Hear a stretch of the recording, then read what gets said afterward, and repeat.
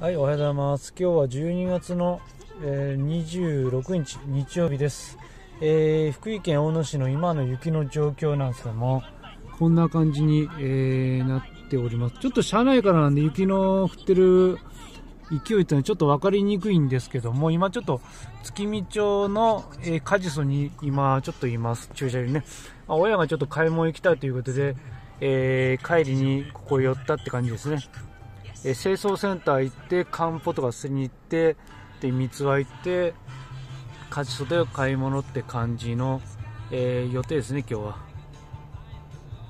で、今ワイパーかけるとね、もう外の結構雪降ってます。えー恐竜の国さんじゃないですけども、結構雪降ってます、大野市も。はい。すごいことになっております。あ、今、赤色はね、後ろに置いてますよ。親に、親がうるさいんでね。後ろに置いてますよ。はい、えー、っと、しばらくはもう、本当は昨日から雪降る予定だったんですけども、予定、予報ではね、え実際降ったのは今日の朝方ですね。朝方から徐々に降ってきて、こんな感じ、もう積もっております。ちょっと拡大できんな。ちょっと携帯調子悪い。まあ、こんな感じですね。はい。では、えー今日の大野市の雪状況。まあ、毎年やってますけどね、こんな感じです。はい。えーでは、えーご視聴ありがとうございました。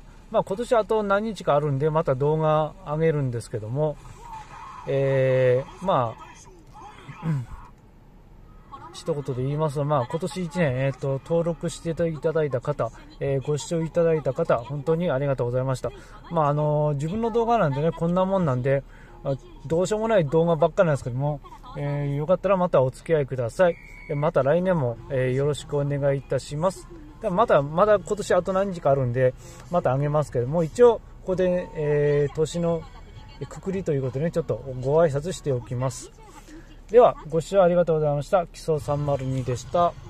え皆さん、雪国の方、気をつけてくださいね。雪国じゃなくても、なんか大阪とか名古屋でも今年は雪降るみたいなんで、えー地方の方もお気をつけください。スタッドレス必須ですよ。はい、ご視聴ありがとうございました。